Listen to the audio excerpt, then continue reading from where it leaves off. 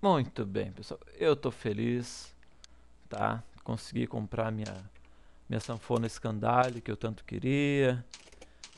Vamos lá, vamos lá, vamos lá, vamos lá. Pessoal, é o seguinte, agora o que, que eu vou mostrar para vocês é uma lia, tá? Que é uma listagem Ops. Que é uma listagem informal de atributos. Pessoal, o que, que significa isso aqui? Isso aqui significa o seguinte. Uh, a gente vai fazer uma modelagem, certo? A gente vai modelar o nosso sistema. Deixa eu pegar aqui de formatação.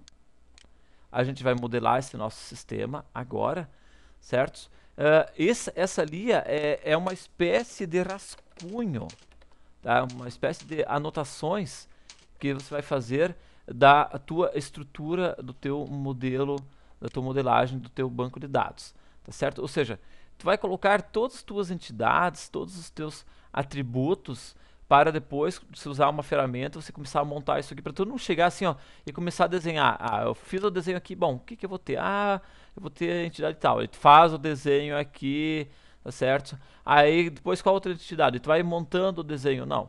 O, o certo seria você então ir montando uma espécie de rascunho, uh, ou seja, tu vai primeiro pensar no que tu vai fazer. Imagina a planta de uma casa. Então o engenheiro, uh, ele não vai sentar na frente do computador e vai começar a desenhar a tua casa. Não. Ele pensa, ele pega um papel, ele começa a botar a, a, ideia dele, as medidas e tal. E depois que ele tem a ideia formada, aí ele parte lá para o, a ferramenta, parte lá para a ferramenta de criação então da planta. Então aqui a gente uh, vai fazer mais ou menos a mesma coisa.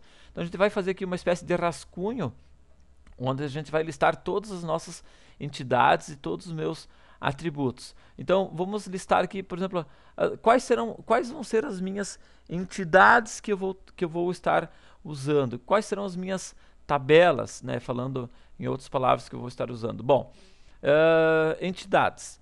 Eu vou ter uma entidade para cargo, certo? Ou seja, uh, vamos, vamos começar do zero. Imagine aqui. A primeira coisa quando você pensa em cadastro de uma empresa, um software para gerenciamento de cursos, qual que é a primeira coisa que vem à cabeça? É aluno, correto? Então eu tenho aqui um cadastro de alunos, ok? Uh, o que mais que venho? Se eu vou ter um cadastro de alunos, eu também vou ter o que? Deixa eu até vou colocar isso aqui ó, da seguinte forma. Deixa eu botar isso aqui assim. Se eu vou ter um cadastro de alunos, eu uh, automaticamente vou ter que ter um cadastro de cidades, certo? Correto? Para que isso? Então, para aquela questão de evitar uh, a redundância de dados, em vez de eu ter lá no cadastro de alunos eu armazenar o nome da cidade, eu só vou armazenar o código, aí entra a questão do, do meu relacionamento aqui que eu estava explicando antes para vocês certo?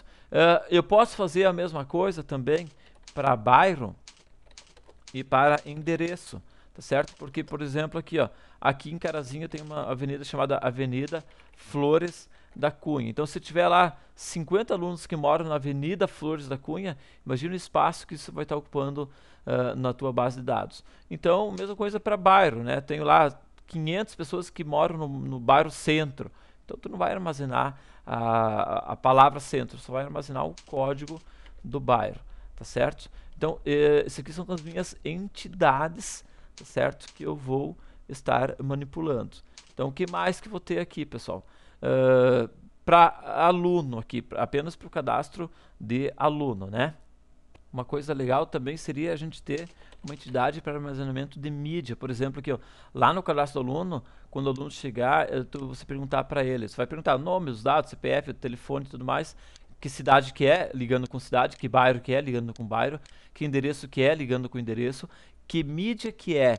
Então, por exemplo, uh, tu ficou sabendo através da rádio, do jornal, do panfleto, do carro de som, da TV, Tá? Então, ter um, uma entidade é, cadastrando então, as mídias possíveis e depois ali no aluno você poder é, fazer essa ligação para amanhã depois tu poder ver qual é a mídia que, que trouxe mais retorno e tudo mais. Isso, na verdade, pode ser feito até para qualquer outro tipo de sistema, seria interessante ter essa questão da mídia, tá certo? Então, muito bem, quando eu pensei em aluno, já automaticamente veio essas quatro entidades juntos.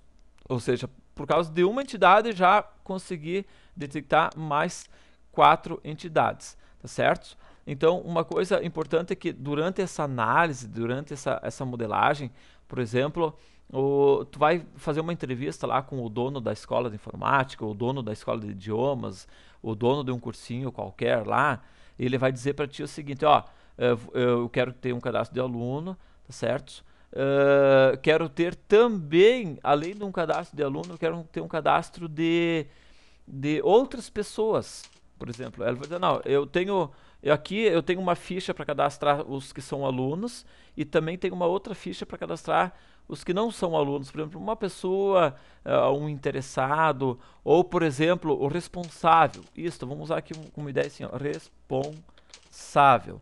Então, vamos supor que você detectou, a princípio, que teria que ter um cadastro de responsável também. Ou seja, eu tenho um, um cadastro de alunos, onde tenho lá um aluno lá que tem apenas 12 anos de idade, então eu também tenho uma outra ficha lá pensa bem que tu está fazendo, tu tá modelando um sistema porque ele vai informatizar para lá para o curso dele, só que no momento ele está fazendo tudo no papel. Então ele tem lá um, uma ficha para cadastro de aluno e uma ficha para cadastro de responsável, para depois dizer ó, que este aluno, o responsável por ele, é o responsável que está lá na ficha de responsável. Então, a princípio, você poderia pensar, bah, então vou ter que ter uma entidade para responsável. Aí tu começa a pensar o seguinte, pessoal, raciocinem aqui comigo. Uh, o, o, vamos supor eu, eu, Neri, eu tenho meu filho aqui, Gustavo, eu boto ele fazer um, um curso lá de acordeon, por exemplo, tá certo? Então eles vão lá, preenchem a minha ficha, uh, preenchem a ficha dele como aluno, a minha como responsável. Aí amanhã depois, né, eu vou lá, eu resolvo fazer um curso de acordeon. E daí? Aí eles vão me cadastrar como aluno, sendo que eu já, já tenho uma ficha lá no responsável, ou seja, isso aqui, uh, o que ia acontecer, redundância de dados, ou seja, eu ia ter minhas informações em um cadastro responsável e também minhas informações em um cadastro de aluno, ou seja, duas vezes informações.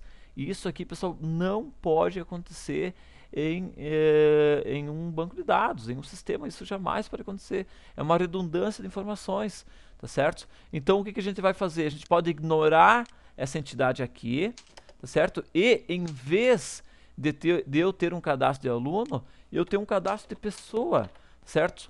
Uh, cadastro de pessoas, e, aonde a pessoa pode ser um aluno, como pode ser um responsável, como pode ser um, um aluno e também responsável por um outro aluno, por uma outra pessoa, enfim. Vocês entenderam? Então, pessoal, aí a gente começa a, a, a verificar nessa modelagem, a ver o, como é que deve ficar uh, da melhor forma possível para evitar redundância de dados uh, no meu banco, tá ok? Então, em vez de eu ter um cadastro de aluno, tá certo? Eu vou ter um cadastro de pessoa, que daí o, esse cadastro que eu fizer tanto eh, vai, pode ser utilizado para identificar uh, que é um aluno, como também para identificar que é um responsável por um outro aluno, tá certo? Tá? Bom, ah, bom, pessoal, agora a coisa começa realmente a ficar divertida, tá certo? Uh, o que estão fazendo agora é literalmente análise de um banco de dados, né? É o que a gente está fazendo para a gente fazer a nossa modelagem lá no, no modelo uh, conceitual IR, tá certo? Então, pessoal, isso aqui é modelagem de banco. Isso aqui, o analista está pensando o que, que, é melhor, o que, que ele vai fazer. Ele tem todas as informações que ele pegou lá do curso, ele sabe como é que funciona o processo, agora ele está modelando. Isso aqui, na verdade, por enquanto é um rascunho, mas tudo começa pelo rascunho, tá certo? É, se tu quisesse ir já é, fazer já direto aqui, já ir montando, por exemplo, aqui uh, as tuas entidades em forma de quadradinho, colocando os atributos dentro, também poderia, tá certo? Já, ou já usando a própria ferramenta. Mas estou fazendo uma listagem aqui para a gente pensar, conversar, depois a gente começa a montar isso aqui já na ferramenta propriamente dita. Valeu? Um abraço, até a próxima videoaula. Tchau!